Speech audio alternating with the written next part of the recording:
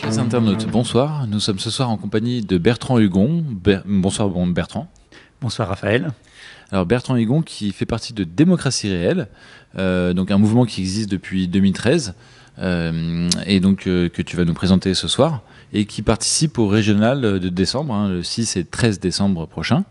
Euh, et notamment, vous mettez en place un tirage au sort pour les candidats euh, de votre parti, de votre mouvement. Euh, je ne sais pas comment vous vous nommez vous-même, si vous êtes un mouvement ou un parti, vous pourrez nous euh, l'expliquer. Enfin, je te tutoie, je te vous vois, on va se tutoyer. Hein, c'est c'est plus simple. Allez, et je te passe le micro tout de suite. Donc, euh, bah, voilà, présentation euh, du mouvement. Euh, bon, bah, un mouvement euh, démocratie réelle, un mouvement avant tout, c'est une suite d'actions. Et euh, bah, démocratie réelle, c'est avant tout, c'est un concept d'action. Euh, c'est un concept d'action qui est très simple. Le concept, c'est euh, les citoyens se présentent aux élections. Pour diverses raisons, par exemple, s'ils ne se sentent pas représentés par les partis politiques, eh ben, ils se présentent. Voilà, comme ils ne sont pas représentés, on n'est jamais mieux représenté que par soi-même.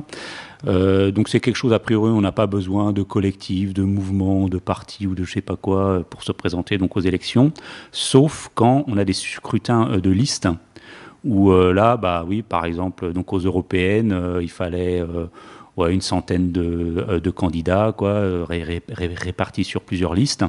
Donc euh, dans ce cas-là, donc il y a le concept de l'action donc démocratie réelle. Le concept c'est très simple, c'est on fait des listes de candidats tirés au sort parmi les volontaires qui s'inscrivent sur le site internet euh, démocratieréelle.fr. Voilà. Alors, euh, pour qu'on comprenne un petit peu mieux euh, qui est démocratie réelle qu'est-ce que prône ce, ce- mouvement, ce collectif de citoyens, on va dire en tout cas, euh, à part le tirage au sort de vos propres candidats, qu'est-ce que vous préconisez au niveau, bah, je ne sais pas si vous avez des candidats élus. Qu'est-ce que, euh, vous souhaitez mettre en place? Alors, euh, donc, on a une charte euh, de fonctionnement qui définit la manière euh, dont on fonctionne et qui dit en particulier que euh, si on a un candidat qui est élu, en tout cas, il quitte l'Assemblée de démocratie réelle, c'est-à-dire qu'il n'a pas le droit de modifier le concept euh, de l'action. On n'a rien contre les gens éventuellement qui, euh, qui pourraient être élus, mais avant tout, démocratie réelle, c'est pour ce que les citoyens se présentent pour qu'ils prennent la parole, qu'on leur donne pas forcément donc dans d'autres conditions. Et une fois qu'on est élu, bon, on a d'autres soucis, on a d'autres moyens. D'accord, très bien. Euh, mais donc à part, à part cela, est-ce que qu'est-ce que vous souhaitez mettre en place par- Est-ce que, est-ce que vous avez des idées par rapport à, à l'international ou par rapport à des problématiques comme ça ou euh, même au niveau in- intérieur, euh, au niveau économique euh, Qu'est-ce que vous préconisez? Hum, en fait, euh, nous, avant tout, ce qui est très important, donc, euh, c'est la démocratie, et c'est donc euh, ce qui est très important, c'est le respect des votations euh, citoyennes. C'est-à-dire que si, par, contre, effectivement, si on avait donc euh, des élus, euh, ces derniers euh, s'engageraient à respecter les résultats de, des votations donc citoyennes qu'ils auront eux-mêmes donc soumis pour des référendums citoyens aux différents ordres du jour, soit de l'Assemblée donc nationale, soit des assemblées donc régionales, enfin les endroits donc où ils seraient élus. D'accord, très bien. Donc vous, préconisez la démocratie directe en fait. Bah, euh, quand c'est par l'intermédiaire donc d'un représentant, euh, c'est pas évident euh, donc à dire, mais effectivement c'est c'est contourner le système représentatif pour oui insuffler de la démocratie donc directe donc donc exactement. En attendant une euh, première république citoyenne qui peine à venir, euh, voilà, euh, vos représentants euh, s'engagent à être des vrais représentants du peuple, si j'ai bien compris, donc et, à- respecter les votations citoyennes. Donc c'est quand même quelque chose de très important à, à souligner, je pense. Euh, alors. Pour revenir au sujet des, régionales qui auront lieu donc euh, début décembre, hein, on le rappelle, euh, vous allez faire donc un vote pour euh, l'Île-de-France le 30 octobre. Alors est-ce que c'est pour l'Île-de-France uniquement ou est-ce que c'est pour tout- toutes les régions? Est-ce que vous pouvez nous expliquer comment Est-ce que tu peux nous expliquer comment ça marche? Parce que tu m'as dit en préparant cette interview que n'importe qui pouvait s'inscrire. Il n'y a pas besoin de faire partie du, mouvement démocratie réelle. Exactement, donc n'importe qui peut s'inscrire, mais alors attention, pas au vote. Euh, parce que, enfin, pour nous, euh, en particulier donc à l'échelle euh, de la France, comme et même à une échelle donc régionale, hein, les, les régions sont très très grandes, elles ont été donc agrandies depuis pas longtemps. En fait, un vote pour nous, même un vote donc sur Internet, il n'a pas vraiment de sens parce qu'on se retrouve à voter pour des gens qu'on connaît pas, qui ont peut-être un bon style écrit sur les forums donc Internet, mais pour nous donc c'est pas sérieux. C'est-à-dire un vote sur Internet, il n'est pas forcément plus sérieux qu'un vote de masse. Là, je sais pas en Ile-de-France France, il y a 10 millions donc euh, d'électeurs.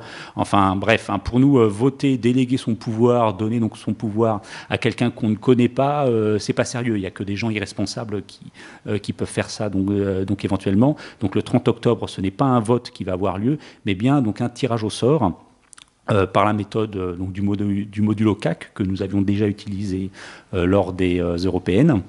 Et euh, oui, voilà, hein, on tire nos candidats au sort parmi les volontaires, euh, sans distinction, sans discrimination, que ce soit de race, d'opinion politique, euh, de ce que vous voulez. N'importe qui peut s'inscrire à notre tirage au sort, sous réserve seulement d'avoir plus de 18 ans, de, de répondre aux obligations donc, légales qu'il faut bah, pour être candidat à ces élections régionales. Ok. Euh, juste comme j'ai reçu euh, il n'y a pas très longtemps Christophe Aubert, je fais une petite précision, parce que s'il était là, il me demanderait de la faire. Euh, sans distinction de race, vu qu'on n'a qu'une seule race humaine, mieux vaut dire de parler de couleur de peau ou d'ethnie, mais voilà, on ne parle pas de Bon, après, ça c'est un débat qu'on va pas avoir maintenant. Mais bref, on a bien compris ce que, ce que tu voulais dire. donc, vous, votre quorum, c'est 209, hein, c'est ce que tu disais pour, pour l'île de France, 209 candidats? Oui, c'est ça. Hein, donc, euh, pour la France entière, ça doit être à peu près donc 1000 euh, candidats. Et donc, euh, par exemple, bon, nous, sommes sur Paris, donc en Ile-de-France, c'est 209 candidats répartis par département, avec dans chaque département parité homme-femme. Très bien. Et donc, vous, vous, avez ouvert des listes dans toutes les régions.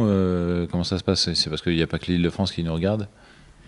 Bah, de toute façon, euh, le, tirage au sort, il va être euh, national. Enfin, éventuellement, on va faire un tirage au sort euh, par région, mais pour s'inscrire donc à l'action de démocratie réelle, si vous voulez prendre la parole médiatique, parce que c'est quand même plus simple bah, de parler aux médias, voire même tout simplement de parler autour de vous dans vos cercles d'amis, dans votre famille, euh, sur Internet. C'est quand même plus facile de prendre la parole et d'être écouté avec un peu plus euh, donc d'attention si vous êtes candidat euh, à une élection.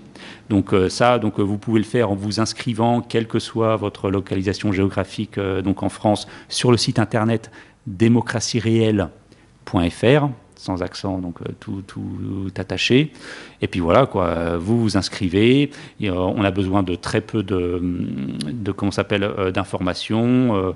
vous allez sur le site internet démocratieréelle.fr, rubrique régionale. Vous entrez votre nom, votre prénom, éventuellement votre numéro de téléphone, votre adresse courriel pour que l'on puisse vous recontacter. Euh, l'endroit où vous avez, par contre, ah oui, euh, important, il vous faut une, euh, attestation d'inscription sur les listes donc électorales. Donc vous devez déjà être inscrit sur les listes électorales d'une commune, pas nécessairement de l'endroit où vous allez être candidat. L'endroit où vous allez être candidat, c'est l'endroit où vous habitez. Euh, par contre, vous pouvez avoir euh, votre carte d'électeur euh, dans une autre commune, dans une autre région. ça, c'est pas important. Mais par contre, effectivement, il faut avoir sa carte d'électeur pour avoir donc le droit de de se présenter, ou en tout cas, il faut pouvoir euh, obtenir auprès de, sa mairie une attestation d'inscription euh, sur les listes électorales. Donc voilà, donc en plusieurs étapes. Vous vous inscrivez sur le site internet démocratieréelle.fr, rubrique régionale, s'inscrire donc à l'action, cliquez ici, et ensuite vous allez chercher dans les plus, plus brefs délais à votre mairie votre attestation d'inscription sur les listes électorales. Oui, parce que ça prend un certain temps, hein. ça peut prendre plusieurs semaines, alors euh, voire plus d'un mois. Et les élections, c'est en décembre. Donc, euh, donc c'est bien de battre le rappel maintenant, mais alors justement, il y a beaucoup, la plupart peut-être des internautes qui nous regardent ne sont pas inscrits, ne ou ne sont plus inscrits, ne, ne votent plus peut-être, pour ceux qui ont voté. Euh, voilà, moi-même j'en fais partie. voilà, qu'est-ce que Qu'est-ce que tu pourrais dire euh, à ces personnes-là pour les, essayer de les convaincre que si ça sert à quelque chose de voter, que euh, voilà, c'est important c'est important de s'inscrire et de voter pour démocratie réelle, de s'inscrire aussi pour, pour ce tirage au sort. Voilà, qu'est-ce que tu peux pour motiver les troupes? Alors, euh, ça sert à rien de voter, euh, même pour aider euh, démocratie réelle. C'est-à-dire que, enfin, si vous votez, enfin, vous êtes passif en fait. Euh, vous vous retrouvez dans un isoloir avec un vocabulaire très limité, c'est-à-dire les étiquettes qu'il y a sur les bulletins de vote. À notre avis, à démocratie réelle, la citoyenneté, c'est pas ça, quoi. C'est lorsqu'on a un discours donc citoyen, lorsqu'on exprime donc, des idées, on les exprime dans son cercle d'influence, chez ses amis, éventuellement chez les médias donc alternatifs lorsque c'est euh, possible, mais voter, ça sert euh, pas grand-chose. En tout cas, sur les gros scrutins donc de listes comme les régionales, c'est-à-dire que nous, par exemple, donc en un mois, euh, on ne va pas avoir donc l'argent, par exemple, pour imprimer donc, donc des bulletins de vote. Donc bon, Enfin, nos chances donc d'être élus euh, sont assez donc minimes, voire inexistantes. Non, nous on s'intéresse pas aux citoyens passifs qui votent. Nous on s'intéresse aux, euh, on donne, on tend la main en fait aux citoyens actifs qui veulent prendre la parole, qui veulent être candidats pour être mieux écoutés. D'accord. Très bien. Et donc éventuellement, ces candidats qui seront élus seraient amenés à être euh, reçus sur les plateaux de médias alternatifs ou nationaux alors? Euh, ça, ça dépend euh, pas de nous, ça dépend des médias alternatifs euh, donc ou nationaux. donc nationaux, alors là, on a le. Oui, donc, donc aux régionaux. bon, donc on a donc l'expérience des européennes où nous avions présenté donc des, des listes dans cinq des huit circonscriptions, où effectivement donc où l'État avait été obligé de nous, on avait obligé donc l'État en fait à, euh, à, diffuser donc notre clip de campagne. Donc là, ils étaient obligés légalement donc de le faire, donc ils l'ont fait. Par contre, c'est vrai que les grands médias qui appartiennent à des grands donc, financiers en général ont largement boudé donc démocratie réelle. Donc il est vraisemblable que euh, oui, quoi, que si on arrive à présenter donc euh, des listes, ce, que j'espère dans un maximum de, régions, bah, les candidats démocratie réelle se tourneront en, en, priorité euh, vers les médias dits alternatifs qui sont peut-être moins dépendants que d'autres du grand capital. Et après, bah, c'est aux médias alternatifs, effectivement, bah, de, leur, de, les recevoir. Ok. Et puis il y aura peut-être quelques médias mainstream, hein, on ne sait jamais, régionaux ou autres, qui, vous donneront le micro. c'est pas impossible. On ne sait jamais. Oui, bien sûr. Bah, euh, surtout que oui, enfin, quand vous êtes candidat donc à, une élection, euh, même si vous n'êtes pas très bien placé dans la liste donc des candidats, eh ben, écoutez, euh, si vous, par exemple, si vous achetez un journal, si vous êtes abonné donc à un journal, si vous regardez régulièrement une, une chaîne de télévision qui peut être régionale, donc éventuellement, bah écoutez, vous êtes tout à fait donc légitime pour dire, oui, bah vous recevez tel autre, tel autre et tel autre candidat donc de, euh, de grands partis, ben, moi aussi donc je suis candidat donc aux élections.